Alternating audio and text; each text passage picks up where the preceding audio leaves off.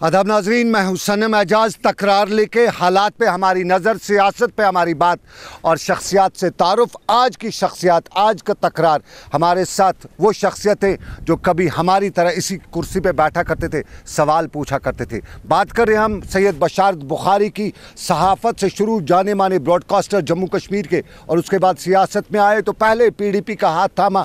P D P की तरफ़ से इन्हें एम का अहदा दिया गया। उसके बाद इंतबात हुए और इंतबात में जीत भी हुई और उसके बाद रियासत की सरकार जो बनी पीडीपी भाजपा की, उसमें वजारत के अहदे पर रहे और उसके बाद पिछले दिनों, करीबन तीन महीने पहले, इन्होंने पीडीपी से नाता तोड़ते हुए नेशनल कॉन्फ्रेंस में शमूलियत इख्तियार की। इन दिनों सियासत के चर्चे हैं, हर गली नुक्कड़ पे इंतबात की बात हो रही है और बशारत बुखारी भी अपने इलाके में हल्का इंतखब संग्रामा में लोगों में वोट और वोटर की बात कर रहे हैं। बशारत बुखारी हमारी आज की तकरार में पहले मेहमान हमारे। बशारत साहब, बहुत बहुत शुक्रिया आपका हमारे आज प्रोग्राम में। एक सवाल मैं पहले ये जानना चाहूँगा, आप ब्रॉडकास्टर रहे हैं, जाने माने ब्रॉडकास्टर रहे हैं। मैं भी एक ब्रॉडकास्टर हूँ। अगर मैं आप सियासत में आए अगर मैं आपसे मशवरा लूँ कि क्या इन फ्यूचर में सियासत में आऊँ, आपका मशवरा क्या होगा? आपके सवाल का सीधा सीधा जवाब है, जी, आपको ऐसा आना चाहिए। इसलिए कि मेरा 16 साल का तजुर्बा ये कहता है, और जिस वक्त मैंने सियासत ज्वाइन किया, का मैदान में आया, उतरा में, उस वक्त मेरे जहन में यही सवाल था, और मेरे ज़मीर ने मुझे ये जवाब दिया कि हाँ करना चाहिए। इसलिए इसलिए कि कहने और करने में आसमान ज़मीन का फ़र्क है। जब मैं रेडियो में शेयरबीन करता था, आप सुनते थे उन दिनों। वहाँ हम अफसरों से कहते थे ये करो। मुतालबा करते थे इंटरव्यू करते थे आड़े हाथों लेते थे नीयत खलूस के साथ किसी के साथ कोई ज़ातियात नहीं थी। लेकिन फिर जब मैं मैदान कारजार में उतरा फिर जब करना पड़ा फिर पता लगा कि कहना कितना आसान है और करना कितना मुश्किल है। अगर वाकई में आपको रात की नींद अच्छी आनी चाहिए तो आपको सियासत में आके लोगों का काम करना चाहिए। मतलब यूजुअली कहा जाता है कि पॉलिटिक्स से डर्टी गेम। पर हम सियासत करते कहाँ हैं? ये सारे लोग बैठे हैं हम तो काम करते हैं।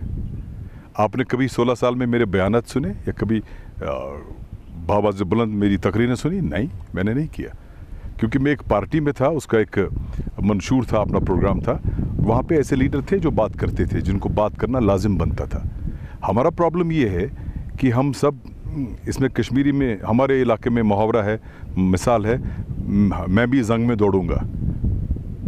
कि दौड़ना नहीं आता है फिर भी दौड़ते रहते इसमें हमेशा हर पार्टी में, हर सिस्टम में, इवन घर में भी, अगर आप घर में हो, अगर किसी घर के मामले के हवाले से या मोहल्ले के मामले के हवाले से बात करना हो, आपका बेटा, छोटा बेटा बात नहीं करेगा। आप बात करेंगे, आपके वालिद साहब बात करेंगे, गाँव का बड़ा बात करेगा।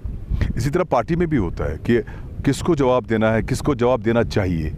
हमारा प्रॉब्लम यह है सियासत में कि हम आज, मिसाल के तौर पर अगर मैं आज सियासत में आया हूँ, आज के दिन में अगर मैंने आज कोई पार्टी ज्वाइन की है, आज शाम आप मेरा इतना बड़ा बयान देखेंगे, आपको लगेगा कि किस पिछले सत्तर साल में ऐसा बयान किसी ने दिया ही नहीं है।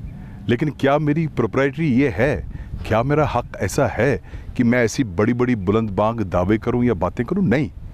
चलिए, अब हम मुद्दे पे आते हैं। आप पीडीपी के सीनियर लीडर्स में शुमार किए जाते थे पॉलिसी मेकर्स में शुमार किए जाते थे। फिर आपका पीडीपी से अलग होना वजूहत अभी तक आपने नहीं बताई। आपने तो वही जो लीडरान की बातें होती कि मैं उधर हो गया इधर हो गया असल वजह आपने नहीं बताई ये कहा आपने असल वजह नहीं बताई। मैंने ये कहा कि ये सिलसिला अगर आपने वो इंटरव्यूज़ आपके सामने भी शायद बात की जब मैं ज्वाइन कर लिया। मैंने उस दिन ये कहा कि ये बेसिक सिलसिला जो शुरू हुआ 2009 से हुआ। क्योंकि 2009 में कुछ ऐसे लोग पार्टी में आए जब हम एमएलए बने पहली बार। कुछ नए नए लोग ऐसे पार्टी में आए, जिन्होंने अपने हिसाब से कोशिश की कि वो पार्टी पर अपना गलबा करें, या पार्टी की पॉलिसीज़ पे गलबा करें, या ये बावर कराने की कोशिश करें लोगों को भी और पार्टी लीडरान को भी कि हम ही हमें और कोई नहीं है। उस ज़माने में भी उन्होंने हमारे साथ, हम दो चार लोगों के साथ बहुत तकलीफ़ दी हमको, जहनी तकलीफ़, बहुत ज़्यादा। हमारे ख़िलाफ़ पार्टी के अंदर साजिशें की, हमारे ख़िलाफ़ बोलने लगे। मिसाल के तौर पर मैं आपको ये बताऊँगा कि अगर मैं as M L A opposition में रह के चीफ मिनिस्टर या उस वक्त के मिनिस्टर साहबान से मिलता था अपने इलाके की प्रॉब्लम लेके। गुना था क्या? नहीं। मैं तो एमएलए बना था। ये भी एक जुर्म बन गया कि हम सेक्रेटरी जाके मिनिस्टर से मिलते थे। इसीलिए जब उन्होंने ये साजिशें शुरू कर दी फिर हमने ये तय कर लिया कि हम इन साजिशों की तरफ़ नहीं देखेंगे अपना काम करेंगे। और अपने लोगों के साथ जुड़ के जो उनके मामला थे, उनको कोशिश करेंगे ठीक करने की। इसीलिए शायद मैंने उस उस दौर में, उन छः साल में को 300 करोड़ क्रॉस किया। अगर मैं उनकी उस परेशानी में घुस जाता कि वो मेरे खिलाफ बोल रहे हैं, मैं उनके खिलाफ बोलूँ, शायद मैं आज इन लोगों के सामने आपके पास यहाँ नहीं बैठा होता। बशा सब, ये साजिशी अनासर हर पार्टी में होते हैं। हर पार्टी में हर ये फितरत है इंसान की, वो दूसरे को दबाना चाहता है, आगे बढ़ना चाहता है, दूसरों को दबा के ही। ये जो पीडीपी में आप कहते हैं कि इस तरह किया चार पाँच लोगों का जिस तरह आम लोग भी कहते हैं उनके बारे में आपको ये नेशनल कॉन्फ्रेंस में अगर झेलना पड़ा तो? और क्या गारंटी है कि ये चीज़ नेशनल कॉन्फ्रेंस में नहीं होगी? सुनिए मेरी बात आप। सोलह साल का तजुर्बा मेरा। मुझे ये बताता है कि मुझे अपना काम करना है। तो वहाँ पे वहाँ पे भी तो अपना काम कर सकते थे। आज में नहीं नहीं वहाँ पे अलग बात है। मैंने पै, मेरी पैदाइश वहाँ की है। मैंने गली गली जाकर मेंढर जाकर दक्षिण जाकर, मड़वा जाकर, किश्तवाड़ जाकर, टंगडार जाकर, गुरेज जाकर मत्सिल जाकर पार्टी बनाई है आपको पता था मैं यूथ प्रेसिडेंट रहा हूँ नौ साल। मैं किस गाँव में नहीं गया हूँ। उधर लोगों का प्रेशर भी ज़बरदस्त था। जो मेरे साथ वर्कर जुड़े थे, चाहे मेंढर में, चाहे पुंछ में, उनका भी प्रेशर होता था। उनकी भी ख्वाहिशात थी। उनकी भी नफ्सियात थी वो भी हमें फ़ोन करते थे जनाब वो चीज़ गलत होगी ये चीज़ गलत होगी वो गलत कर रहा है ये गलत कर रहा है। उसके प्रेशर से कम से कम मैं आज़ाद हो गया। तो मेरी महबा मुफ्ती जुमैडे में उनसे बात हुई। उनका आपके बारे में या कुछ और जो पीडीपी के लोग हैं उनका आपके बारे में ये कहना है कि जब पीडीपी को ज़रूरत थी बशारत बुखारी की जब महबा मुफ्ती तन तनहा हो गई थी बशारत बुखारी ने देखा कि इधर अब कोई नहीं बचा तो मेरा क्या काम? वो भी निकलना शुरू हो गया। नहीं जब पीडीपी को ज़रूरत थी हमने पूरा साथ दे दिया। जब उनको मेरी ज़रूरत थी, मैं मिनिस्टर बना, मैंने जो काम किया वो आपके सामने है। ज़रूरत ये नहीं होती है कि आप सिर्फ़ अपने आप को देखें। ज़रूरत ये होती है कि ये लोग क्या चाहते हैं। जो थे लॉ मिनिस्टर या थे disaster management relief rehabilitation reconstruction minister थे justice and parliament affairs minister थे रेवेन्यू मिनिस्टर या थे हॉर्टिकल्चर मिनिस्टर मैंने मुनासिब समझा, उस वक्त रहूँ हालाँकि मैंने इस्तीफा भी दिया। आपको मालूम है? मैंने बयान दिया, मैं मिला बाद में। मैं किसी चीज़ को लेकर ही वापस चला गया। उसमें दो चीज़ें थी। एक जो मैंने, मेरे तहफ़ात जो थे, जो मेरे मामला थे, जो मैंने मैडम महबूबा जी के साथ उस वक्त शेयर किए, और उन्होंने पूरा एतमाद और यकीन दिलाया था कि ये सारी चीज़ें ठीक हो जाएँगी।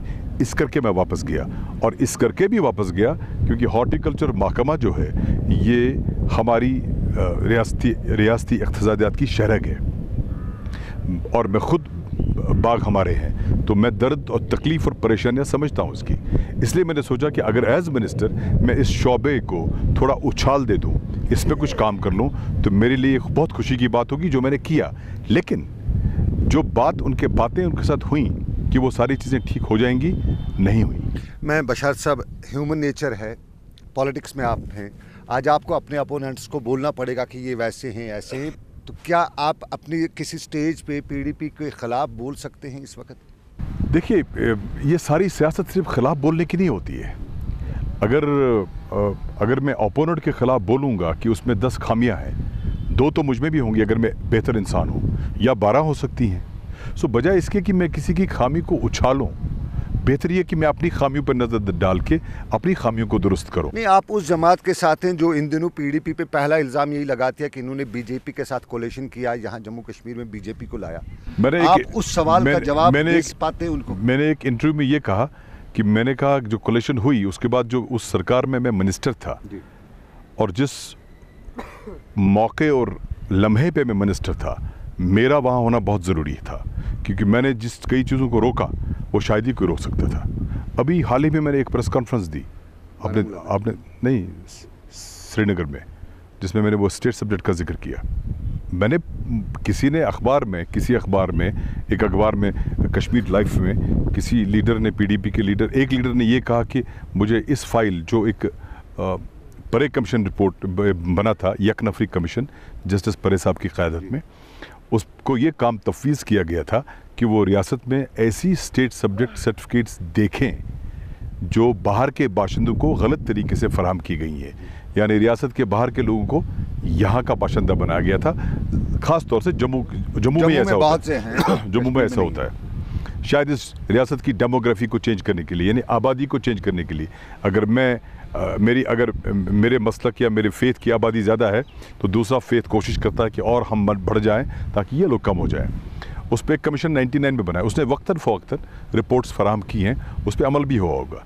2015 में एक रिपोर्ट आई तो 2015 में भी कुछ हुआ मुझे ज़्यादा उसकी जानकारी नहीं है। ये में कुछ हुआ लेकिन जब मैं रेवेन्यू मिनिस्टर बना तो उसमें कोई 136 के करीब ऐसी निशानदेही की गई थी सर्टिफिकेट्स की जो रियासत के बाहर के लोग थे, उनको जम्मू में सर्टिफिकेट फराम की गई थी। और परे साहब ने उनकी रिकमेंडेशन की थी, ये कैंसिल की जाए। नब्बे के करीब ऐसी सर्टिफिकेट्स थी, जो उनको लगता था कि ये भी गलत है, लेकिन उन पर अभी इन्वेस्टिगेशन जारी था। ठीक? तो जब फ़ाइल आई तो मैंने काबीना में उस पर बात की। उसके बाद मैंने मैडम को भेज दी वो रिपोर्ट अडॉप्ट करने के लिए, जो काबीना ने फॉर्मली इनफॉर्मली हमको बता दिया था। भेज दी और ताकि हम वो सर्टिफिकेट